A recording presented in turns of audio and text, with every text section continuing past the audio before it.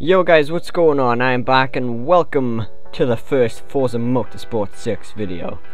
I've been waiting to do a Forza 6 video for so long and I only got Forza a couple days ago so I'm not going to kick it straight off and get into drift builds, circuit builds, racing in general. I want to I want to do a video for the, the people that like to do designs for their cars, um, do stickers, you know, all that kind of thing because I, I do know that the Forza community is amazing for doing their designs and stuff for cars, so why not show people how you get all your, your designs back. So you you can just get your car at the ready if, if you want. I'm just doing it because it's easier.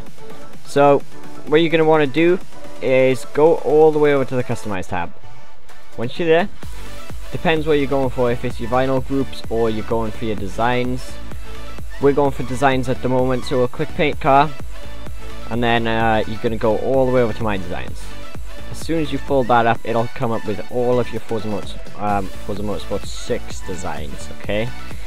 So you don't want these, well, you might want these, but th this isn't what we're looking for. So if you're looking for Horizon 2 designs, this only works from like previous titles on Xbox One, by the way, so if you've come over from 360, you can't get any of your de designs back, unfortunately. But, we can get the Xbox Ones back. So, you're going to want to click RB if you're going to get a Horizon 2 file.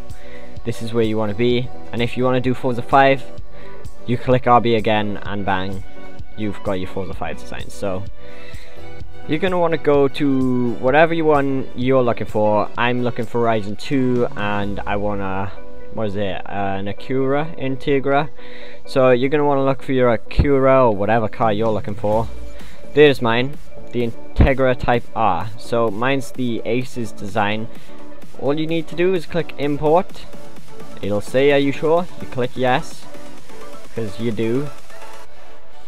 This is a really straightforward thing to do, guys, so hopefully you find this helpful we do basically the same thing for um, for the, the, the the vinyl groups.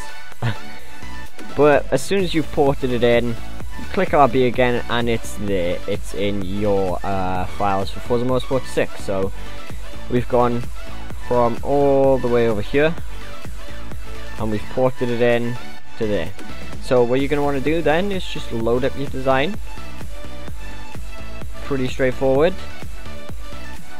and I will also show you guys the um, decal thingy. So if I click apply decals, because this is mine, I've got everything here, nice and simple. So what you're also going to want to do if you're a uh, guy looking for your um, decals, you're not looking for the whole car, you're just looking for a single decal, you're going to want to wait for it Wait for it. Wait for it. There it is. Okay, so you're going to want to click back. So you're not in that menu. You're going to want to go to the Customize tab again.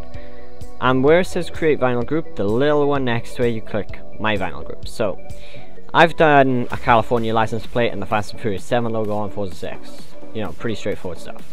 You click Horizon 2 files, same thing we did in the uh, designs. Or, you know, Forza Motorsport 5, you know, do what you want. And then you're going to want to find the, the, the decal you want. Let's just go with Atlas Corp, because that's mine. I'll, I'll take Atlas. So, click this, import file, yeah, I want that.